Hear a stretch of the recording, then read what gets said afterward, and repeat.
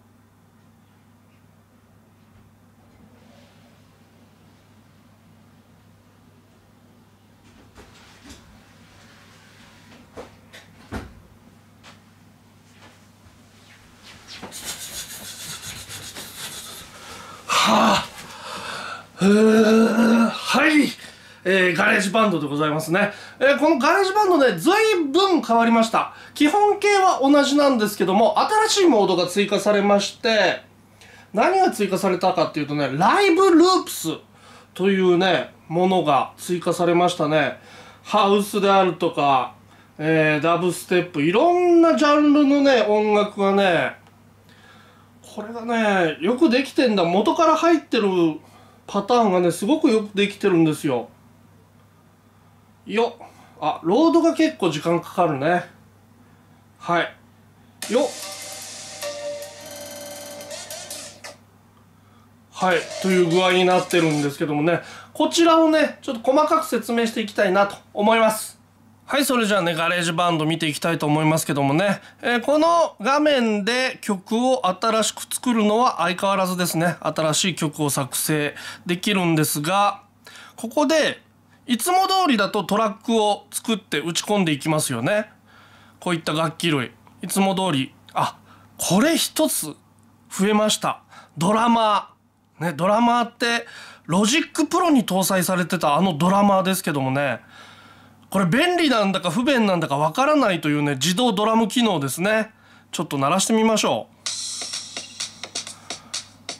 う。ねこれねドラマーのタイプをね選ぶだけでねいろんなドラムができるんですね。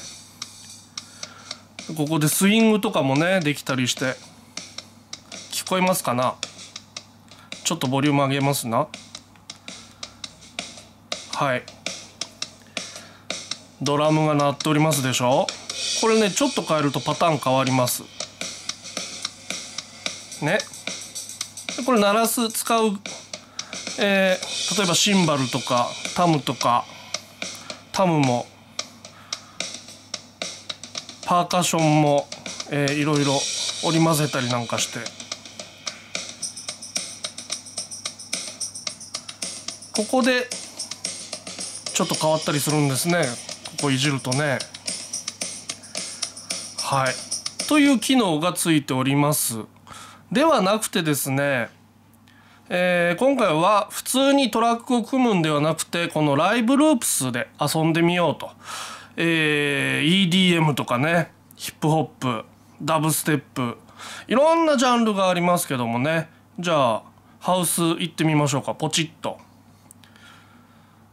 なんかに似てるっていろいろ言われるんですけどもね。まあ確かになんかには似てます、えーこの類のソフトが得意な人はねピンとくるでしょうけどもね。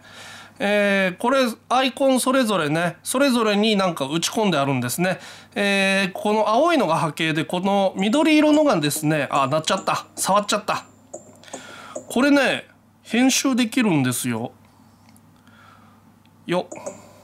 あれ？どうすると編集できるんだっけな？えい！えい！まあいいや。まあいいや。まあ押せば鳴るってことは分かりましたね。押せば鳴るんです。はい。でここの下の段。下の段。これねポチってやるとここ全部なります。ね。じゃちょっと喋りながらなんでちょっとボリューム下げよう。ここポチってやるとこれが全部なります。ね。えー、1小節ごとなのかそれとも何分音符ごとなのかっていうねそういうスナップができます。今1小節ごとに切り替わるようになってます。ね。次のボタンを押すと1小節待っていきます。はい。ということを踏まえましてじゃあなんか演奏してみたいなと思うんですけどもポチここを FX ってやつを押すとエフェクトが出ます。ね、 KAOSS PAD みたいなものが2つ出るんですけど KAOSS PAD よりも優れた点はこれ例えばフィルターね。フィルターはこういう四角が切ってある、ね、方眼のマス目状になってる。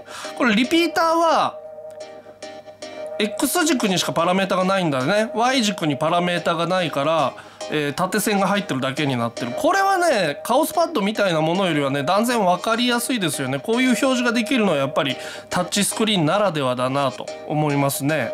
じゃあちょっとフィルターかけてみましょうか。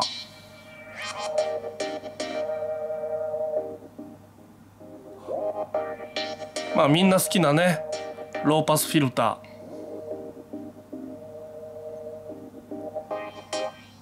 こっちはハイパスですね。はい。これ全部鳴らしちゃった方が分かりやすいのかな？他に何があるかっていうと、えー、こっちにアサインしてるリピーターとか wobble とかリバーブオービオービットっていうのはこういうやつですね。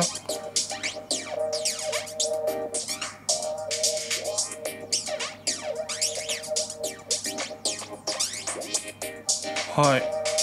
リピーター。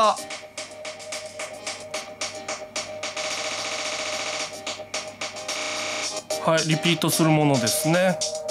でこれが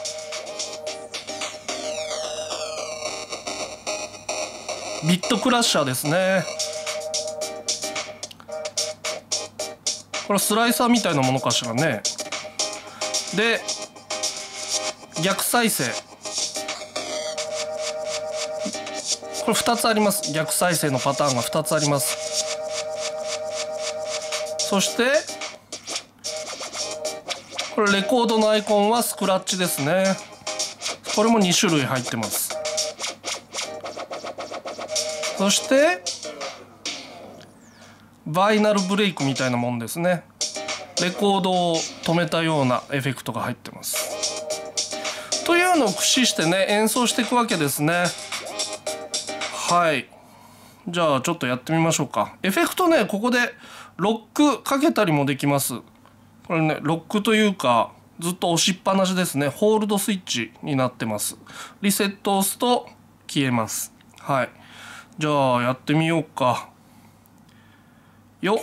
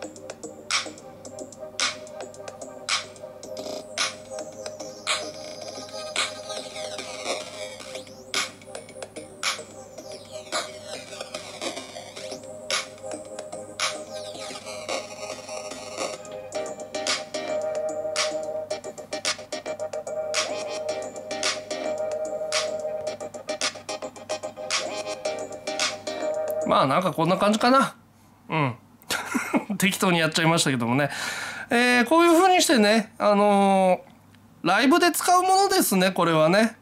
えー、ライブでパフォーマンスする時に、自分の曲も作ったりしながらね、できるわけですね。えー、こちらに、え、ループを、なんかループをぶち込んだりとか、え、あとは、音源、好きな音源でね、なんか作れるんですよ。よっ。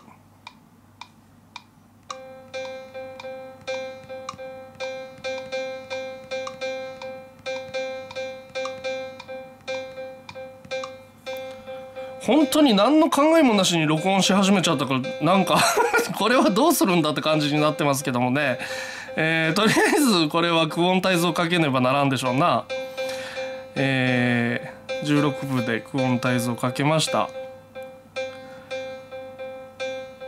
音源を変えちゃおうこれ。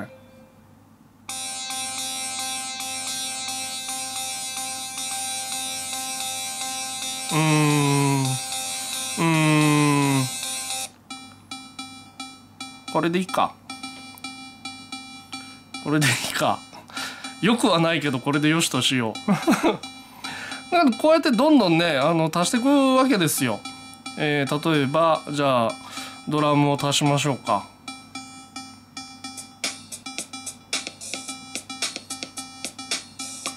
はい録音しました。は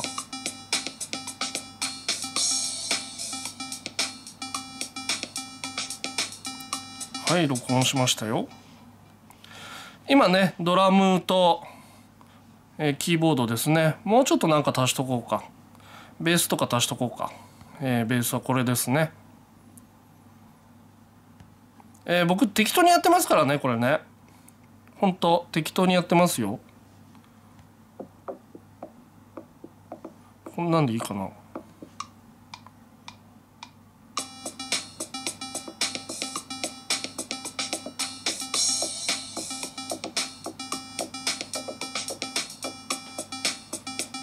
はい。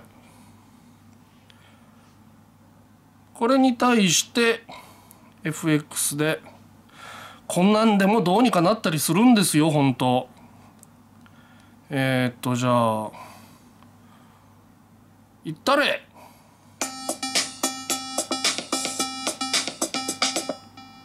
こうなりますね。こうなるんですよ。よっ。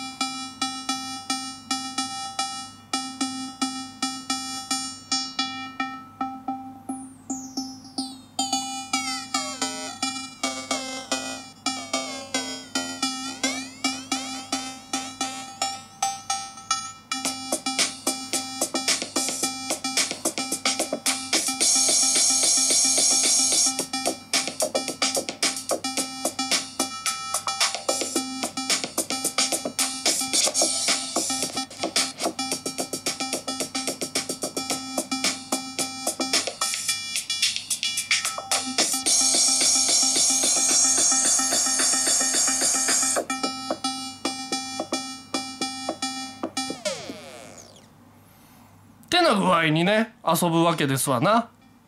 まあ本当に適当なものを打ち込んでしまって お耳汚しだけになりましたけどもね、えー、まあそういう使い方ができるようになったと。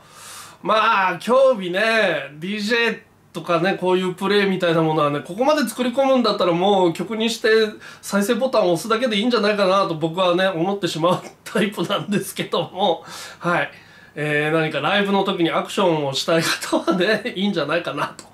思っております。えまあもうちょっとね作り込んであーでもなヤマハがあるんだよな。ヤマハのまあヤマハ自体はねもう一体どうなってしまったのかヤマハが iPhone アプリを作ることはなくなりましたけどもね。まあすごく似てるんですよこれ。よドン。よよよ。はい。はい。これがね操作がすごく似てるんですな。まあインターフェースご覧になってすごく似てるなっていうのはお分かりいただけるかなと思いますけどもね。こっちの方はまだ僕ちゃんと曲の体を成してるものを作ってますね。あまあこっちの方が使いやすいかな。僕個人としてはね、えー、ヤマハの Mobile Music Sequencer の方が まだいいなとは思うんですけどもね。ただヤマハ新しいの出してこないから大丈夫なのかなっていうのはちょっと思ってます。はい。ということでね GarageBand 新しくなったよという話ですね。なんか話忘れたことないかな。話忘れたことがあるような。あこのインターフェースこれね10インチの iPad ですけどもね。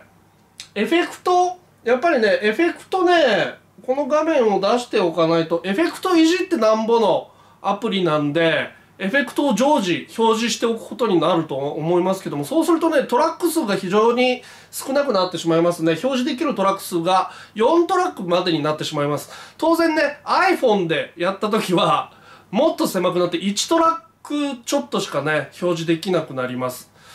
ということでね iPad Pro のためにデザインしたなと。